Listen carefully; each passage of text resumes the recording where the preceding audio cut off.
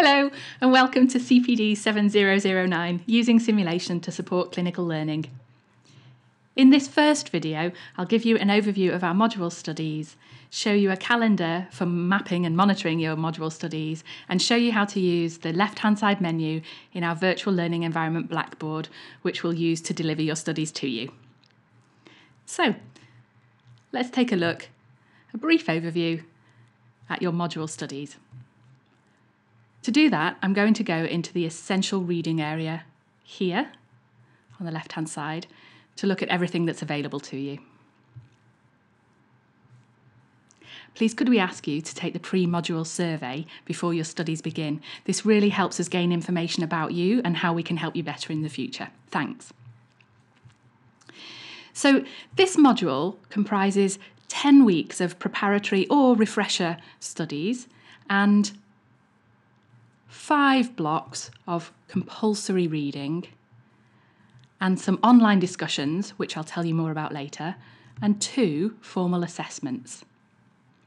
We'll also meet face to face on three or four occasions. If you couldn't join us for the March 25th induction face to face day, please don't worry, that's exactly why we've made these videos. So let's look at the calendar. I'm going to open the calendar for module studies using this link and you'll notice that it opens in a new tab in the web browser. There it is. As I said, this module includes 10 weeks of preparatory or refresher studies, readings, discussions, and tasks. If you've studied with us before, you might find these useful, and if you haven't studied with us, Please have a go at these tasks as they'll help you get ready to use the virtual learning environment and to engage in the CPD 7009 studies when they get going in earnest from June 3rd.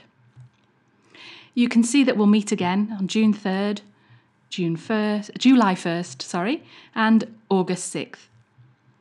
The H here in the room booking title means our Faculty of Health building here on the Ormskirk campus.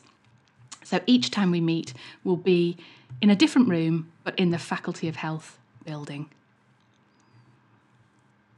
Okay, let's go back to Blackboard. To do that, I'm going to use the tabs in the web browser.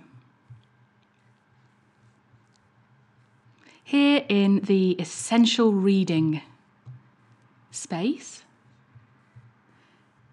by scrolling up and down, you can see the preparatory weeks and tasks.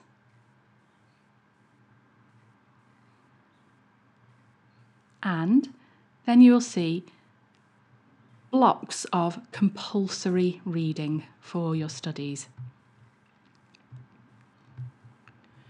When you open these readings, again, they open in a new tab in your web browser. For the first 10 weeks, there are some preparatory readings all about the underlying educational principles to teaching and learning in clinical practice. When we start our simulation studies with block one and two and three and four and five, again, you'll see that these readings are all PDFs which open in new tabs on a web browser. It may be worth noting that because they're PDFs, you can open them on almost any device.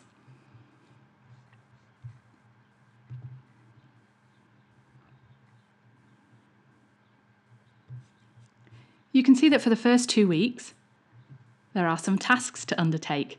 Right now, you're doing the first one, you're watching this welcome and introduction video. So let me tell you a little bit more about your module studies and the virtual learning environment Blackboard.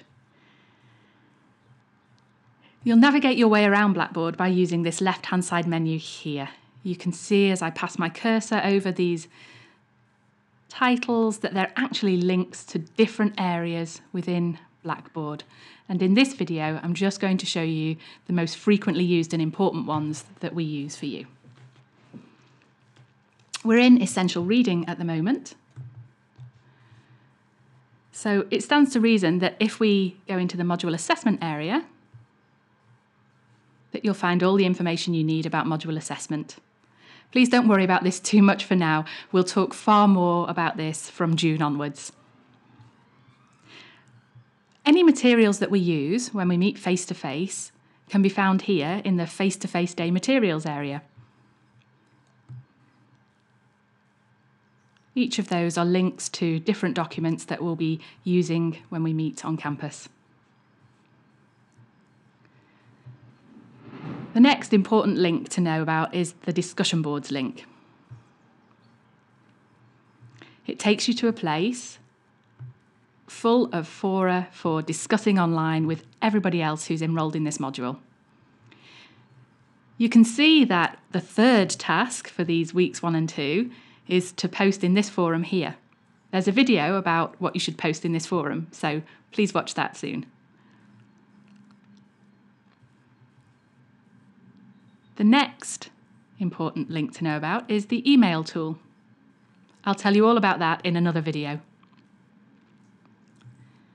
So let's go back to the essential reading area.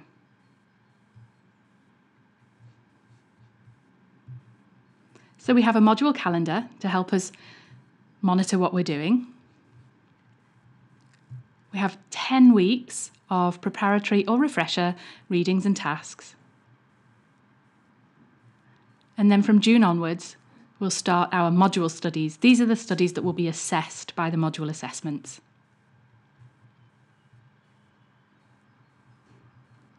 So that's about all I have to tell you for the introduction and overview video, except for one final piece of housekeeping.